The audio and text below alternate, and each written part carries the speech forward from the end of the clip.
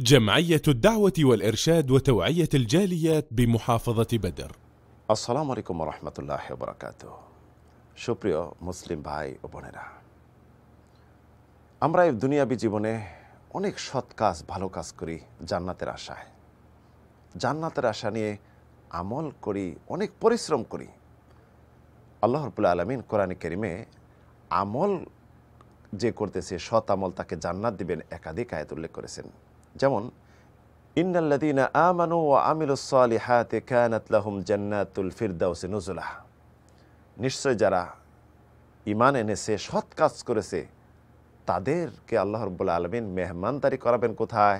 জান্নাতুল ফিরদাউসে। অন্যত্র আল্লাহ রাব্বুল আলামিন এরশাদ করেছেন, উদখুলুল জান্নাতা বিমা কুনতুম তা'মালুন। তোমরা জান্নাতে প্রবেশ করো তোমাদের আমলের বিনিময়ে তোমরা যে আমল করতে। উল্লেখিত আয়াত দিয়ে যেটা আমরা বুঝতে পারতেছি যে আমল করতে হবে জান্নাতে যাওয়ার জন্য। এবং আমলকারীদের জন্য সৎ আমল যে করবে বেশি বেশি আল্লাহ রবুল আলমিন তাকে জান্নাত দিবেন, জান্নাতের মেহমানদারি, জান্নাতের ফেরদাউসে পাবেন। কিন্তু শুধু আমল করে আমরা রেখে দিই। আল্লাহ রবুল আলমিনের কাছে চাই না যে আমলটি আল্লাহ কবুল করুন, আমাদেরকে জান্নাত দেন, আল্লাহর কাছে চাই না। মনে করি আমল তো করেছি, আমলের বিনিময়ে তো জান্নাতে যেতে পারব। অসম্ভব।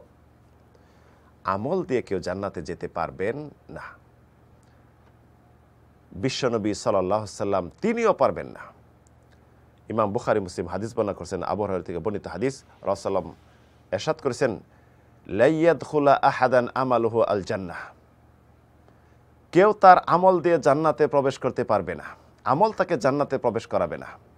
সাহাবিরা বললেন, ইয়া রসুল্লাহ ওয়ালা আন্তা? আপনিও না? রসলাম বললেন, লা, ওয়ালা আনা, আমিও পারব না। ইল্লা আইয়াতা গাম্মাদানি আল্লাহ বিফাদ্দিন ও রহমাতিন। আল্লাহ রবুল্লা আলমিন যদি তার ক্ষমা, দয়া, রহমত দিয়ে বেষ্টন না করেন, আমার প্রতি ক্ষমা না করেন, অনুগ্রহ না করেন, তাহলে সম্ভব নয়। তো আল্লাহ রবুল্লা আলমিনের অনুগ্রহ ছাড়া, দয়া, অনুকম্পা ছাড়া কেউ জান্নাতে যেতে পারব না। আল্লাহ রবুল্লা আলমিনের দয়া প্রয়োজন জান্নাতে। আমলগুলি যে করতেছি, আমলগুলি কিন্তু উপায়, উপকরণ জান্নাতে যাওয়ার উপায় এগুলি। ভালো আমল জান্নাতে যাওয়ার উপায় যেমন খারাপ পাপ কাজগুলি জাহান নামে যাওয়ার উপায়। কিন্তু আল্লাহ রবুল্লা আলমিনের রহমত যদি না হয়, তাহলে জান্নাতে কেউ যেতে পারব না। তাই একজন মুসলিমের উচিত হবে, আমল করে শুধু রেখে দিলে হবে না। আমল করে আল্লাহ যেন অনুগ্রহ করে, রহমত করে আমলগুলি কবুল করেন। এবং আমলটা যেন এখলাস, একনিষ্ঠতার সাথে হয়। খলুসিয়াত থাকে আমলে, একমাত্র আল্লাহর জন্য। আমলটা যেন সেরেক মুক্ত বেদাত মুক্ত লোক দেখানো, লোক শোনানো মুক্ত হয়, তাহলে আশা করা যেতে পারে আপনার আমল আল্লাহর অনুগ্রহে কবুল করবেন এবং এ দ্বারা জান্নাত যেতে পারবেন। তো একজন মুসলিমের উচিত হবে। শুধু সৎ কাজ করে, চুপ করে বসে থাকলে হবে না। আমরা দেখা যায় সৎ কাজ করি, আল্লাহর কাছে দোয়া করি না আমলগুলি কবুল হওয়ার জন্য। রসলমের সাহাবিগণ আমল করতেন, আমল করার পরে দোয়া করতেন আল্লাহর কাছে, আল্লাহ যেন আমলগুলি কবুল করেন।